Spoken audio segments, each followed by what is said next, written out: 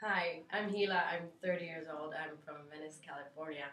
I, um, well, my story is kind of complicated. My ex boyfriend, well, he left me two months ago and he's been trying to get me back. And it's hard. We have a lot to talk about, and I don't know. I just don't know if I want to trust him. I want, to go there. So I'd really want to take a weekend and take him in a new Ford Fusion Energi and go up to San Francisco.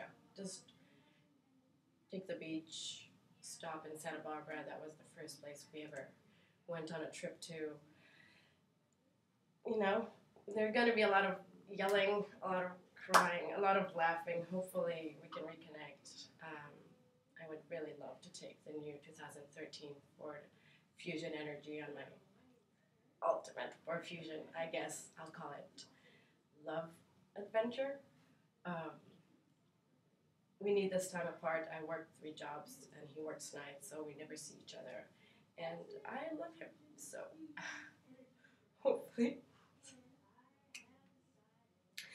he, he'll hate me for this because he doesn't like people and he doesn't like to be uh, in the spotlight, but he's gonna have to if he wants to get back together with me because I know he loves me, but he has to make me feel it. And I feel like a weekend like that would be really good for us.